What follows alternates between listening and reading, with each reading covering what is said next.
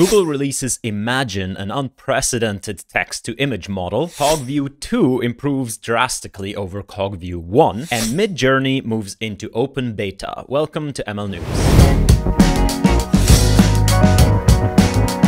Hello, hello, and welcome to ML News. Today we talk all about text to image models, text and image models, any sort of artistic models that we might have missed and developments over this summer. The first, obviously, really big one that we've actually missed at the time is Imagen. Imagen is a system by Google, specifically Google Research out of Toronto, that is a diffusion model that goes from text to images. Here you can see a bunch of examples. So this is an alien octopus floating through a portal reading a newspaper paper. And this is not some sort of image to image model. The image is created purely from the text, which is crazy. So I hope you see that over the last few years or even months, this quality of text to image models has improved drastically. I think ever since the first uh, DALL-E model kind of sparked this push into this area, the rate of progress has been unprecedented. Look at the quality of these things and also the adherence to text is quite amazing. Now, not only is the quality really good, what's also really stunning is the simplicity of these models. We see a continued progression from more complicated systems to actually less complicated systems. So the entire Imagen system is just captured in this diagram right here. At the beginning, you have a text that goes into a frozen text encoder. So the text encoder isn't even trained with the model, it's simply used as is from being trained as a pure text model. The text embedding is then fed into a text-to-image diffusion model. Now, diffusion models have gained in popularity in also the last few months, competing in quality with autoregressive models. So this is a really cool development. Whereas systems like DALL-E 2 used a conglomeration of like latent, diffusion, and so on, this model simply takes the text embedding, feeds it into this diffusion model, generates a low resolution 64 by 64 image, and then feeds that into super resolution diffusion models. In fact, there are two stages of super resolution. The first one going to 256 by 256, and then the second one going to 1024 by 1024. Now, obviously, this is a cool tactic because super resolution models can be trained in a very unsupervised way. You simply take a large image, you sample it down to a smaller image, and you train the model to go in the reverse direction. Now, while recent progression is definitely in the direction of simplicity and scale, you can't just scale up and be simple and expect that to work well. There are actually distinct things you can do to make these models work a lot better. And the Imagen paper points out a few of those things. For example, we show that large pre-trained frozen text encoders are very effective. And in fact, we show that scaling the pre-trained text encoder size is more important than scaling the diffusion model size, which is really interesting because you would think that for an image generation model, the part that actually generates the image is really important. But it's actually the part that pays attention to the text and what's contained in the text that seems to be more benefiting from scale. So the quality and adherence to the prompt that we see in this model is thanks in large part to scaling up the text part of the model. Another thing they also mention as being a core contributor to the good quality is what they call a dynamic thresholding diffusion sampler, which enables the use of very large classifier-free guidance weights. Now, there are a bunch of technical terms if you haven't followed this literature. Essentially, in diffusion models, what you do is you have this this model that you feed the same image over and over. And in each step of that feeding, the image gets a little bit more clear, a little bit more denoised. So you train the model to go from noise to image in sort of a recursive step. Now, in each part of that recursion, obviously you generate a new image. You generate each pixel of the image in a given value. Now, if you know things about images, you know that usually pixel values go either from 0 to 255 or negative 1 to 1 or you know, however you specified, but there is a minimum and maximum value for each pixel. And usually this is only important at the end. When you actually want to have the output image, you need to crop it somehow to that range or squeeze it or something like this. During the intermediate steps, you have multiple options. You can simply let the system run rampant and, and have pixel values in whatever, like this pixel is 10,334.2, or at each step, you can try to limit it to some range and compress compress the image. Now, both of these options, if you do them in a static way, don't really seem appealing, and that's what this paper notices. So they introduce a technique to dynamically threshold, to dynamically reduce the range of pixels during the recursive steps in the middle of the diffusion process. In the paper, they describe this in a bit more detail. They say that at each sampling step, they don't just threshold to like a fixed value, but they threshold to a percentile of the absolute pixel values in the image, and then dynamically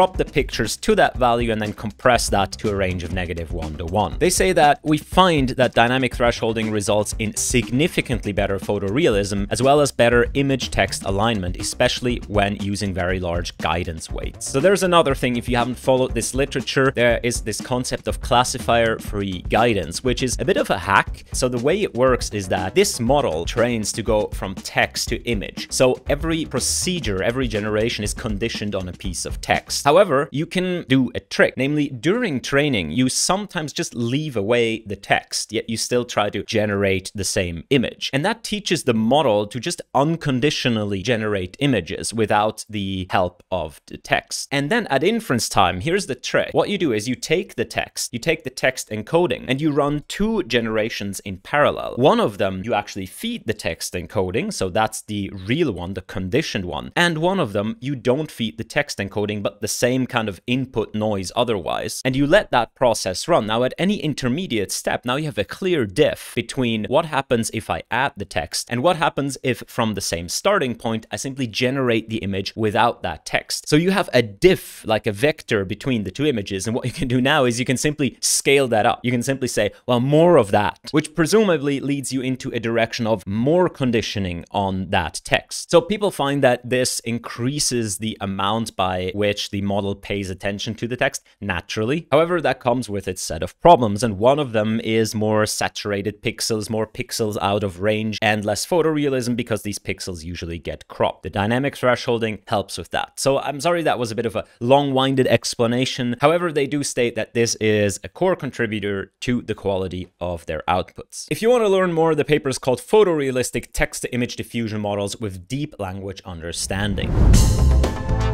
The Allen Institute for AI releases Unified I.O., which is a general purpose model with what they claim unprecedented breadth that can perform a wide array of visual and linguistic tasks. So the mission here is to cover all kinds of tasks. For example, image generation, region captioning, pose estimation, detection, segmentation, segmentation-based generation. You get the idea. There's a lot of tasks that a single model covers. And what does it do? It simply defines encoders and decoders of each of these modalities to a unified token vocabulary. So whether it's images, whether it's text, whether it's anything, their goal is to translate this from and to a unified set of tokens over which they can run our very classic token-based NLP autoregressive models. They have a bunch of examples here. So one class of tasks they can handle is image plus text to image. Now image plus text, you might think of uh,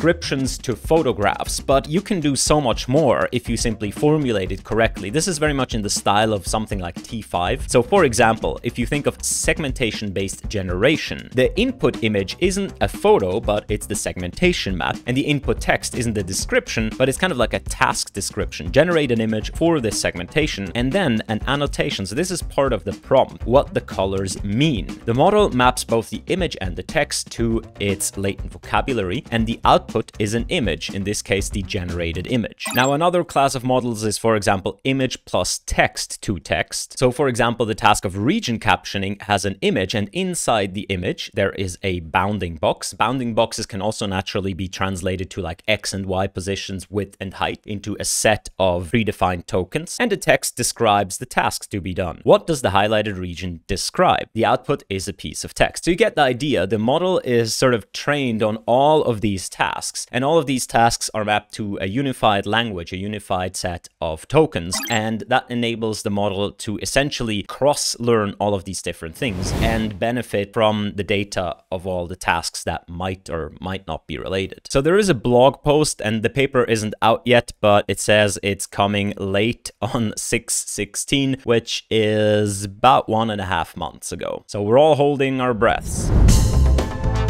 CogView 2 is a new model from researchers of Tsinghua University that is also a text-to-image model. Now, CogView 2 is a model that works in English and Chinese. It is open, there is a Hugging Face demo available, and it focuses mainly on improving performance over the previous system called CogView 1. So the paper that is called Faster and Better Text-to-Image Generation via Hierarchical Transformers goes a lot into detail on how they improved the model since the last iteration. And again, you can see that the quality and adherence to text of these models is really picking up in Steam. So the way that CogView 2 improves in performance and also in quality is by using a sequence of transformations and instead of having fully autoregressive models, they have partially bidirectional models. So in multiple stages, they train the model to only fill in local parts of the image while attending to all the other image tokens. This allows them to support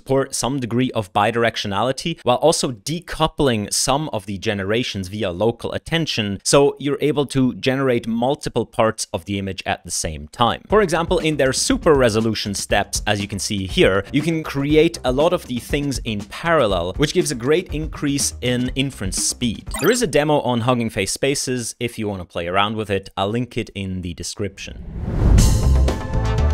Motherboard writes, Google bans deepfakes from its machine learning platform. So apparently a lot of people have used Colabs to generate deepfakes, and Google now disallows that use of Colab. Now, a lot of people have asked, like, how are they going to do that? How are they going to inspect the code that you run or something like this? The way I understand it is that as of now, it's simply the terms of use of Colab prohibit you from running deepfake software. So if you run code like this, you'd simply be violating your contract with with Google. How and when and how strictly they're actually going to check what code you are running, that I think is not described currently. I can imagine that they are going to simply ban the commonly shared Colabs that people, you know, kind of share around to generate deepfakes. A lot of the people who do this kind of stuff, they don't really have an idea even of how Colabs work or what the code means. They simply know how to fill in the stuff and then click play. So that should weed out like a large part of users of this technology. Now, while obviously Google has the absolute right to do this, it gets a bit gray in what counts as like deepfake software. There are obviously a lot of research projects and even a lot of fun projects that in one way of looking at them would fall under the guise of, of deepfake software, but are completely harmless. And there are other projects that might fall under this category, depending on how loosely you define it. And the question is essentially how widely is this going to be applied. And as always, I guess we'll just have to wait for precedent cases. My hope is essentially that Google is going to take a quite strict approach to this, in that if you try some new method to combine Mickey Mouse and Pikachu, then that doesn't necessarily count as a deepfake, but we never know. It's always kind of scary when these companies introduce rules that are essentially up to their own mercy to decide what falls under them and what doesn't. But I guess that's the entire tech industry, so yeah. Cosmopolitan has an article about itself, namely about how it designed one of its covers using DALL-E. So the Cosmopolitan issue is called the AI issue, Meet the world's first artificially intelligent magazine cover. This is a bit tongue-in-cheek, obviously. The cover isn't really intelligent. However, it was created by OpenAI's DALL-E 2 system. Now, there is a video by the artist who made the cover, detailing the entire process on brainstorming, meeting with the the team, then trying out different prompts, getting closer and closer to the final result. And I think this highlights a core notion about these new text-to-image models. So as you can see here, it's not simply give me a cool Cosmo cover. It is trying and trying, modifying the prompt, trying again, coming up with new ideas, brainstorming. It's really kind of like almost like a collaboration between artists and these tools, be that in prompt engineering, be that in then modifying the image. As you know, DALL-E can not only generate images, it can also modify parts of existing images according to some text stuff. So the prompt that they came up with is a wide angle shot from below of a female astronaut with an athletic feminine body walking with swagger towards camera on Mars in an infinite universe synthwave digital art. It's only missing uh, trending on ArtStation, I guess, or Unreal Engine. But yeah, very cool insight. If you want to watch the video, it's Karen X Cheng on Instagram. And one thing that I I noticed about this is the fact here. It says, and it only took 20 seconds to make. Now, from the video you just saw, do you have the feeling that this thing only took 20 seconds to make? Like, no, that is a bit misleading. Obviously, the inference time of DALL-E is 20 seconds, but then the entire process of making the cover is days, weeks, months. So it's not necessarily a replacement for the traditional artist. It's more like a replacement for the Photoshop person. I mean, watch me do this, okay? Right click, copy, GIMP. All right, GIMP is open, paste, cool, colors, saturation, crank that up, yo. Bang, and boom, I have made a new magazine cover. If I told you that this magazine cover in its entirety only took 10 seconds to make, because it literally took me 10 seconds to perform that sequence of actions, would you think that's an accurate representation of how this picture came to be? Probably not. But let's just forgive Cosmopolitan for the small amount of clickbait here, and thank them for bringing the message of how AI can support creativity into the wider world.